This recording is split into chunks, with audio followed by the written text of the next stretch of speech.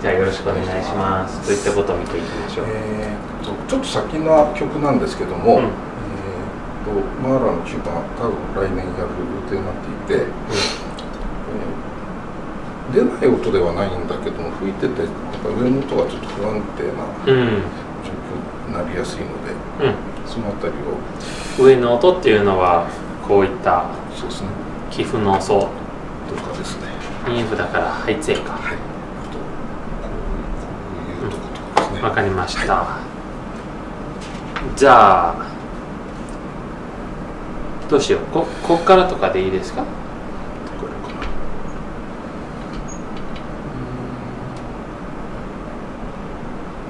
この辺からいきますね。うんわかりました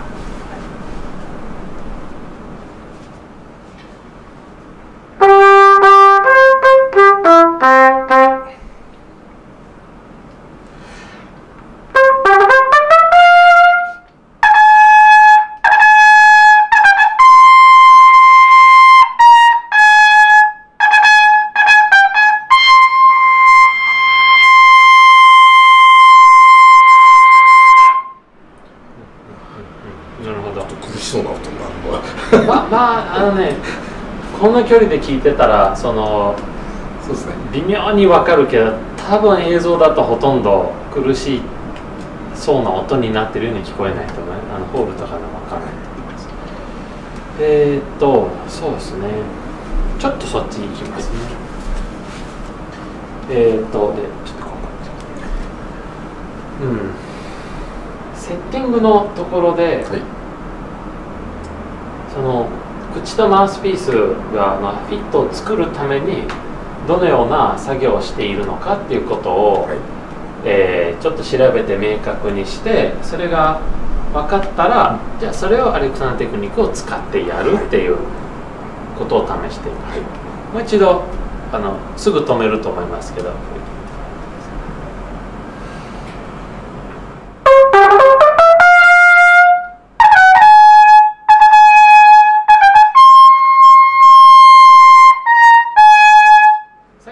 くないですよね。そうですね。ね。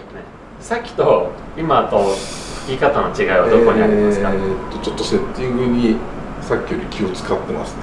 あなるほど、はい。どどういう気を使うの中身を教えてもらっていいですか、はい。えー、1回目吹いて、えー高い音っていう状況ができたので、はい。そこの状況を意識しながら低いところから持っていってます。ちょっとあのはい。高い音の状況が明確になった高い音を吹く時の当て方、息の出し方、はい口のあれとかを最初吹いた時はあんまり思い出してなかったけど、なるほど。そっか。ということは吹き方を意識するためにはい。一回吹いてみてから思い出すっていうことを普段やってるっていうことですよね。うんうん、まあそれがウォーミングアップの意義でもあるので。じゃあねえっ、とちょっといきなり違うところを吹いてもらいます、でやってみたいことはえー、わざと違う高い音が出るところを吹いていただくので吹いてみてからっていうのが少しできない状況を作って、はい。吹いてみてないから感覚的にどんなだったとかどんなのだったか思いあんまり覚えてないんだけど、うん。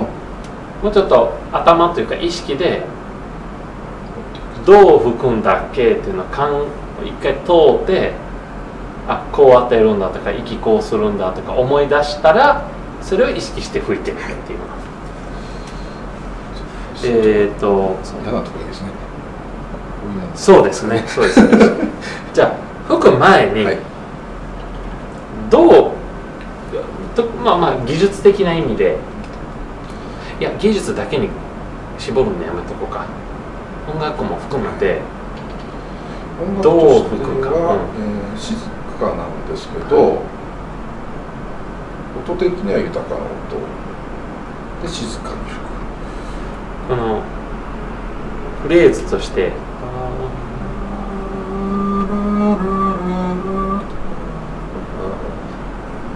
うん、そのああすごい跳躍があるけどすごい跳躍って、ね、技術的な話じゃないですか、音楽的にこの跳躍の意味するところ生み出す効果どんなものだろ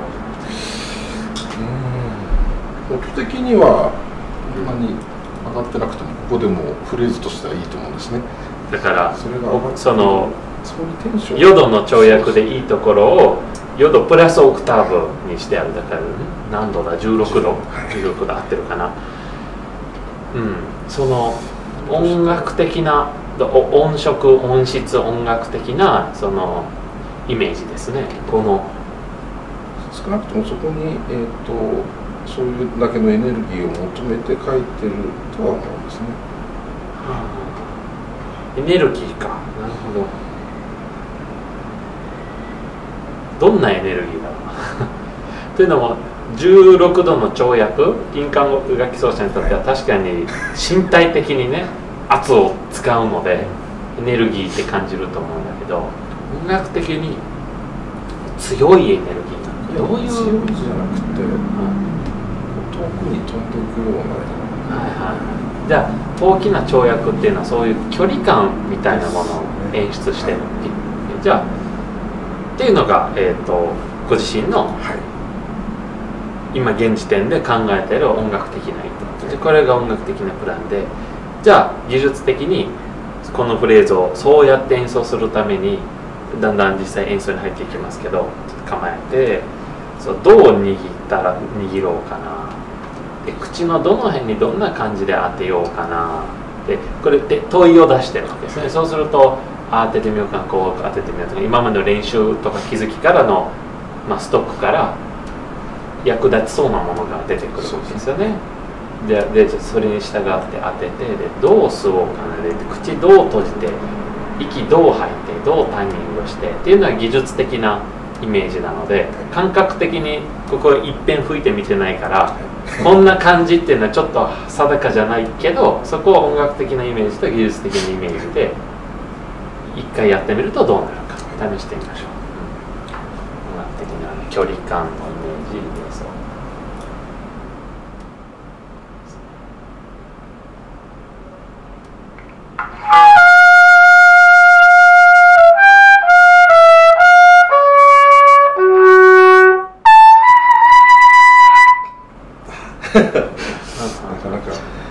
やってみて、はい。えなんかどどんな、はい。えー、上の歯の音でちょっと引きずられて、うん、ちょっとこっちを思いすぎてこっちがうまくいかなくなってきましたね、はい。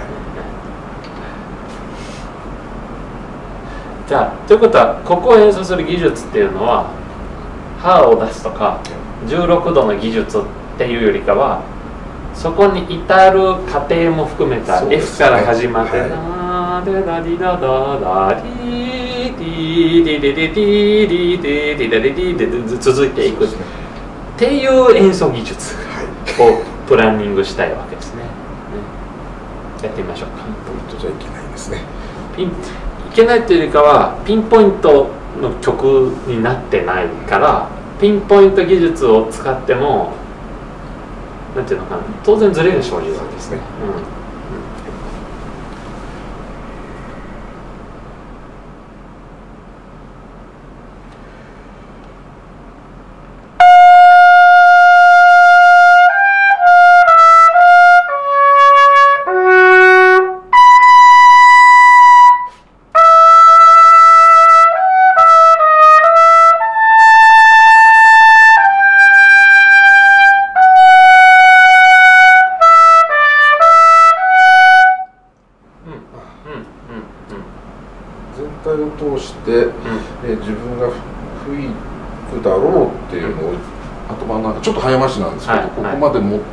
から吹いてみた、はい、なるほど。じゃあ今音楽的なプランと技術的なプラン、このその全体を通したね。それを、えー、明らかにあらかじめして吹くっていうことをやってみれたのでその中で、えー、っとこれが今ご自身が使ってる考えてる意識してるやり方。でその中にそうイメージするよりそう意識するよりこうやってみた方がもっとやりたい音楽ができるかもしれないっていう可能性を、その中をさらにアップデートしていくところをちょっと見ていこうかなと思うんですけどそう。でもこの時点ではどこをどうするかっていうのはまだはっきり分かってません。だから実験していければなと。えー、っとねこのセッティングをすることと息を吸うっていうことの関係っていうのはちょっと抽象的ですけどそこがテーマかなっていう気がしててえ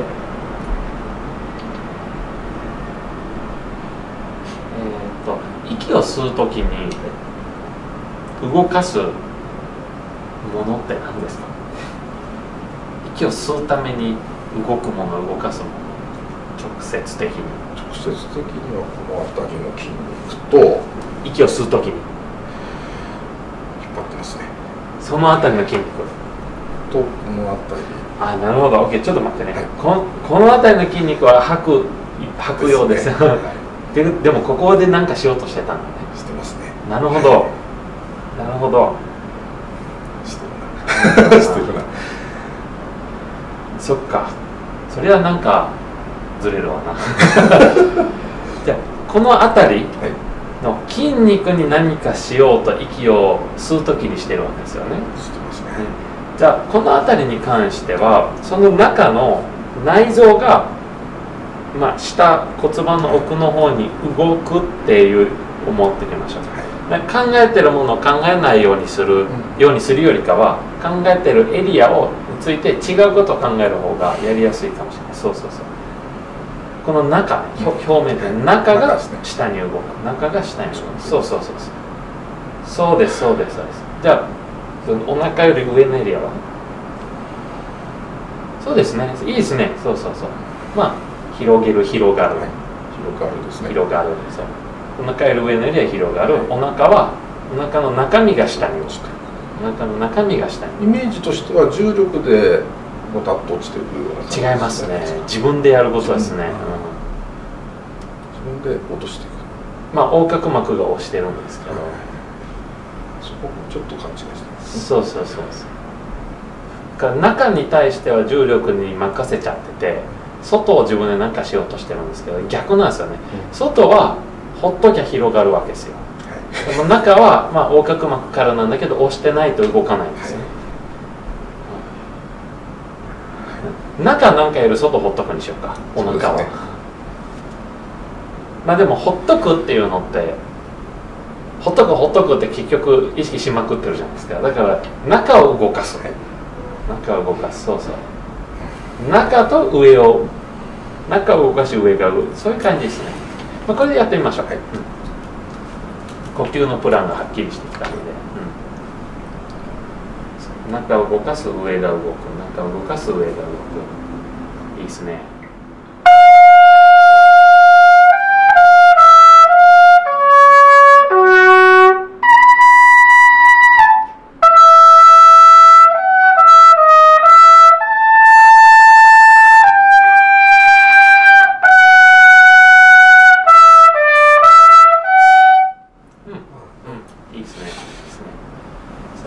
じゃあえー、っとそれで全体良くなって、はい、次浮かび上がってきたのがやっぱり、まあ、高音域のこの出し方息の吸い方がより良くなった時にじゃあ高音域をどう生み出すか、うん、もう一回見てもらっていいですか、息の吸い方その中を動かす。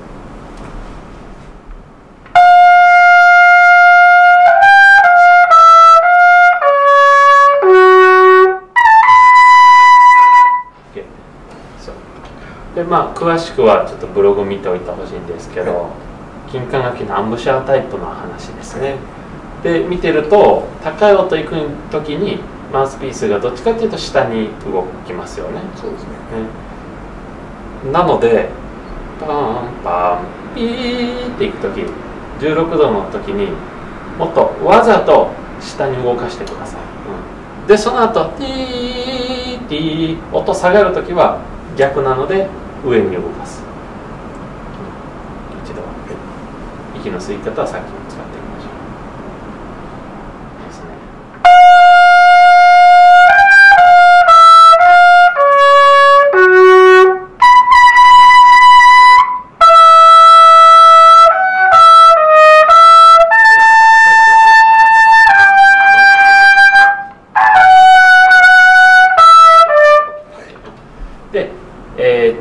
下っていうのは実はちょっと大雑把な言い方で、えーまあ、骨と歯に沿って顎先の方に。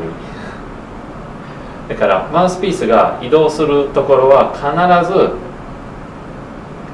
体に接してるところの上だからは離れないわけですね。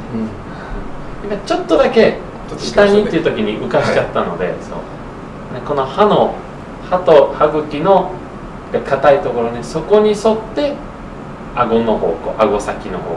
もう一回やってみましょう。そこに沿って顎先。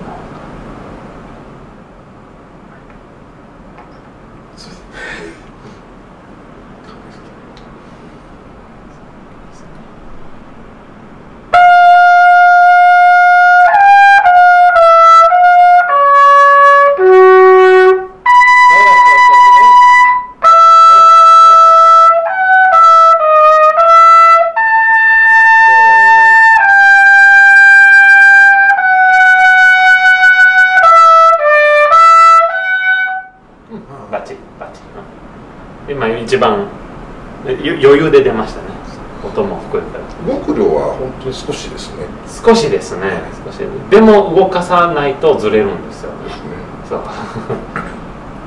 圧力を保ったまんまうん。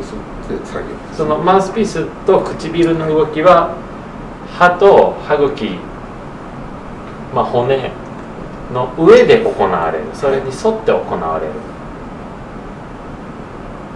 のでそのマウスピースを動かすっていう意識がこうここから離れたところで行われるとちょっと浮かしちゃうことがあるかもしれない。若干回転運動っぽくなるんえっともしかしてまあそのその人の形によって平たい面じゃないことが多いのでその面がこうだったらここに沿わそうとする結果回転のように感じることはあるけどただ回転させようとするもんじゃないですよね。ねね。回転させようとするとこのこういっちゃうかもしれない。は離しちゃうかもしれない。のででこういう形の人だったらそうですね。うん。自分の歯と骨の形に沿ってそこに接着させながら。そうそうそうそう。いいですねいいですね。仕上げにやっとく？はい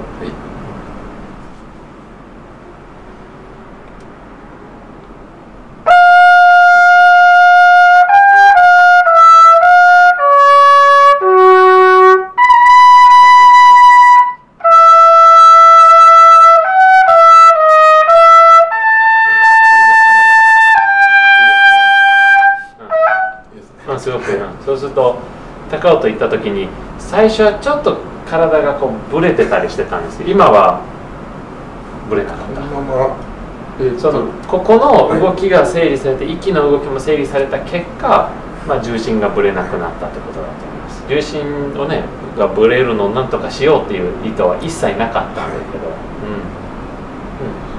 うん、落ち着いて吹けますね。そうそうそうそうそう。そうなのそうなの。この自分のアンブシャーコマンドをだんだん理解するとどうしたらいいかが結構具体的になるのでこの辺に関するどうしたらいいかってほとんど分かんないことばっかりじゃないですか。その感覚的には分かっても本当の意味でこう客観的にしかも役に立つ形で把握する、うん。う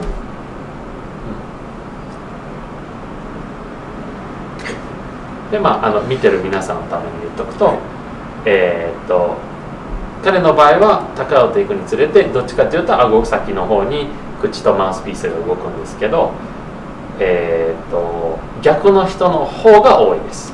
基本的には、うん。まあ、詳しくはバジル・クリッツァーのブログの、えー金管楽器の3つの基本アンブシャータイプという記事をご覧ください。以上です。ありがとうございました。